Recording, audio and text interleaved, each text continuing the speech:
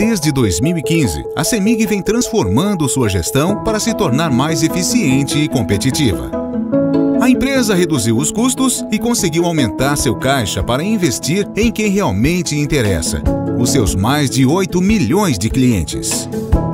Para isso, a CEMIG reduziu o custo de pessoal em 450 milhões de reais e outros 575 milhões foram economizados com revisão de processos e revisão de contratos.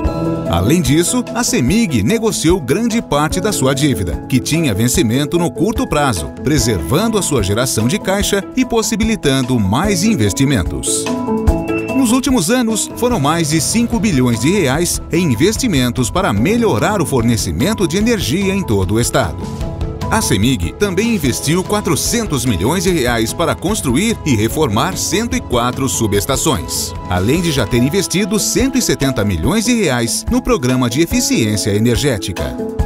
A CEMIG também destina recursos para quem mais precisa. Nos próximos dois anos, 70 mil famílias de vilas e comunidades da região metropolitana de Belo Horizonte terão a energia elétrica regularizada. Além disso, a atual administração da CEMIG regularizou um grande passivo de ligações na zona rural. Em 2015, apenas 26 municípios mineiros tinham mais de 99% dos consumidores rurais com energia. Neste ano, esse número passou a 604 municípios.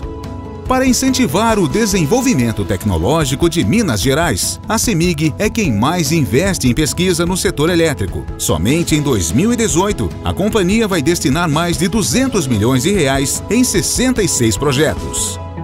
Muito já foi feito, mas a CEMIG acredita que, com planejamento e uma administração responsável, podemos fazer ainda mais. É assim que estamos construindo uma nova CEMIG. CEMIG, nossa energia, sua força. Minas Gerais. Diálogo, equilíbrio e trabalho.